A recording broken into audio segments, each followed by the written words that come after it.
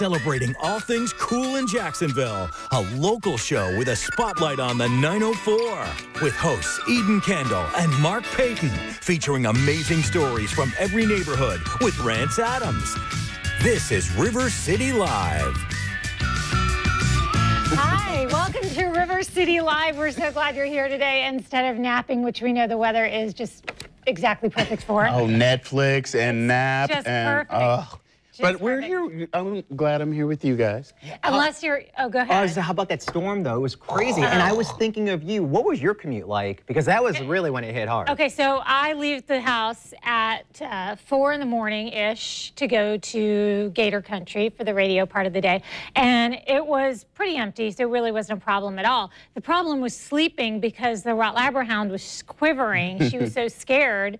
And, you know, she's like, she's our own little Richard Nunn. And we don't even, you know, it's nice to have the weather alerts coming in on the phone and the this and the that, but she lets us know when it's about to go down. And yeah, it that was. that thing came through. Uh, My alarm went off at like 4:50 because I was going to the gym and I heard it and I'm like, uh, the power's probably going to go out at the gym, so I probably should just stay home. Good excuse. So, you know, you're at work, you're working out, I was sleeping.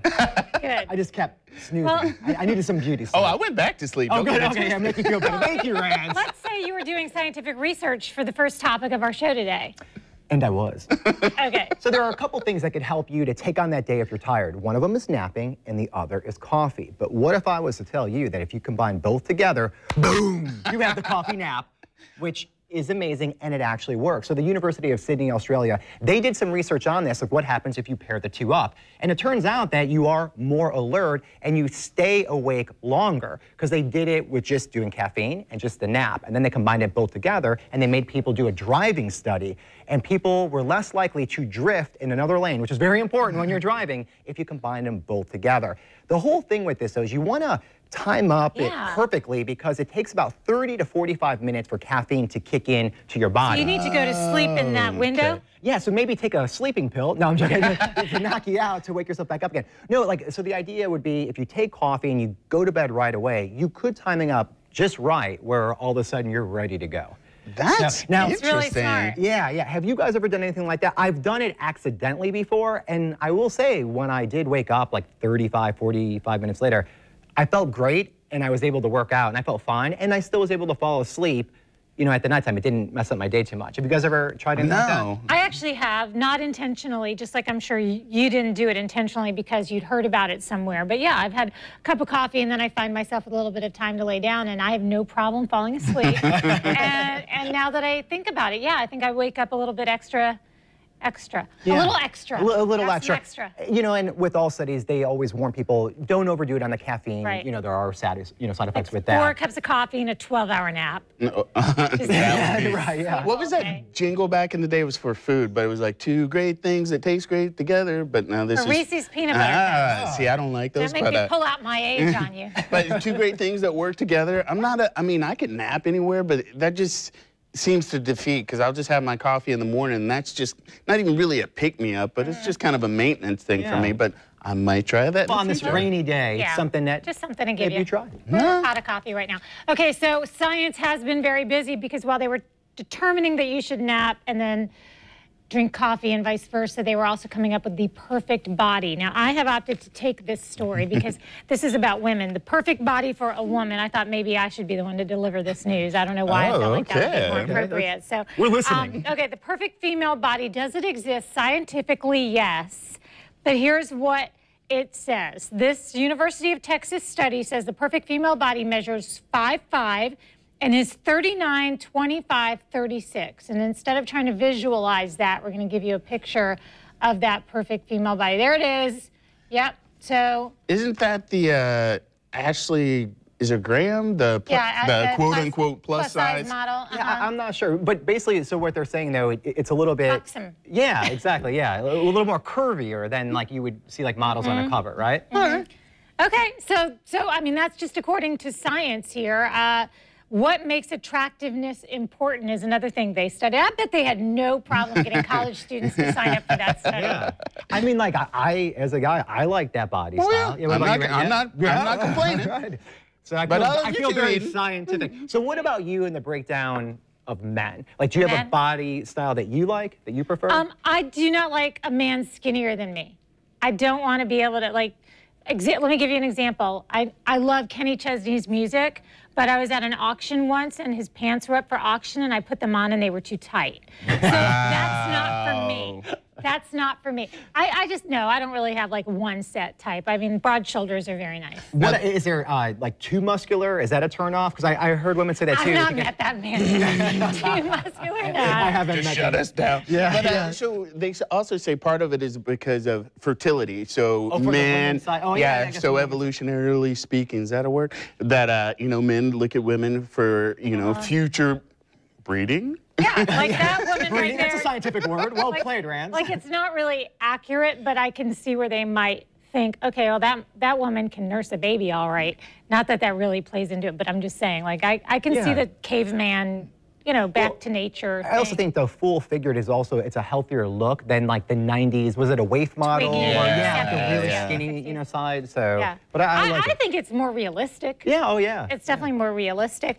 All right, here's a body type uh, we can all get behind. Our new mascot for the jumbo shrimp. Isn't he adorable? We're going to take a look at him right now. There he is. Some scrimp. I would, it's opening week next week for the jumbo shrimp, but uh, we don't have a name for this fella. Now we still have Southpaw, our original mascot, so don't don't worry about Southpaw.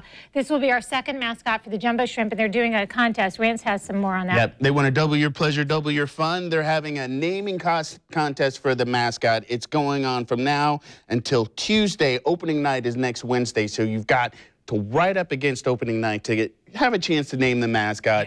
Uh, they'll announce it on opening night, and the winner will get season tickets.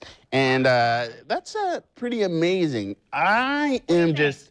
They didn't ask our opinion on the- them naming the team, so but I guess it's cool that we get to help name the mascot. Do you, you guys have any guesses or any uh, ideas for? I didn't come up with any of my own, but I, I heard a few that I thought were really good. I have one that I came up with, Uh-huh. but then I kind of did research because I wasn't sure if it was a fit. So the old one was South Paw. Yeah, Or if we he's call still this there. one South Claw. But then I had to say, do jumbo shrimp have claws?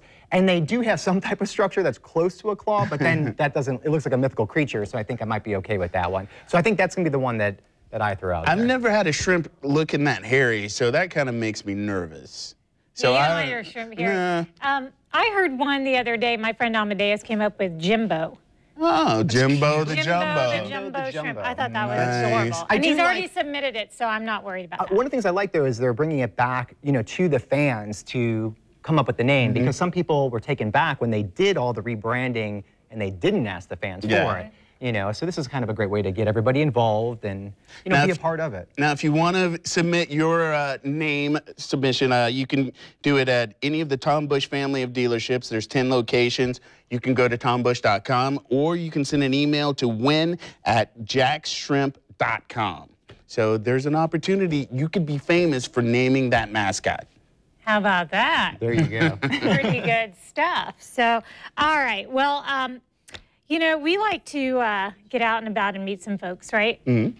So, have you? Uh, I, I had a message in my ear just now telling me what where we were going next. I missed it. So, help me out here. Oh yeah, no problem. Okay, so well, let's talk about tourism in Jacksonville Okay. before we get to that. That's you know, what I was Jacksonville, you know, it's interesting because it really is on the map when it comes to tourism. More people are coming here, and I don't know, well, with me, for example, I've only been here for about a year and a half, and when people come to visit, they're just blown away about how much things there are to do here. Mm-hmm. You know, so we have a list of why that is. You know, ju- just recently with their whole like tourism campaign and Right. how they restructured everything. But really, what it comes down to is that sporting events are here. Uh-huh. You have uh, the ocean right here, and then also the history side. You know, you have St. Augustine and just a lot of charm here because it is the first coast after all. Yeah. There's, and, and in Florida, there aren't a lot of places where they're seeing growth like that. Exactly. For the most part, it's been kind of on a, a downward spiral, if you will. Uh, but here, Jacksonville, it's starting to just really pop, which is nice. And I was saying too, whenever visitors come in, they know about Jacksonville, but you know, I'm from up north. But when they come here, they're like, "Wow, this is a lot nicer than I mm-hmm. thought." You know, Hey. so I mean, in the 18 months since I've been here, and I mean, you and I both, I mean, obviously I get to explore for this job, so it makes it,